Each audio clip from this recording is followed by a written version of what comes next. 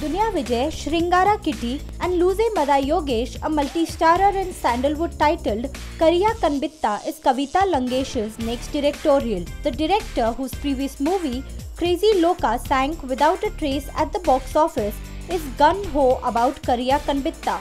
The movie is based on a short story by Subbu Holeyar. Kavitha Lankesh wants to take this movie to various movie festivals apart from having a commercial release. Her first movie as a director was a documentary on children's nature camp called Deveeri. The documentary was based on a story by her father P. Lankesh. She has also directed a film starring Anant Nag, Bharti Vishnu Vardhan, Sudharani, Prakash Raj and Anu Prabhakar named Preethi Prema Pranaya that won a national award for the best feature movie in Kannada. Unfortunately, her later movies did not make the mark. We wish Kavitha Lankesh and her team good luck for Kariya Kanbitta. Hope to see her take the gold old route to movie making.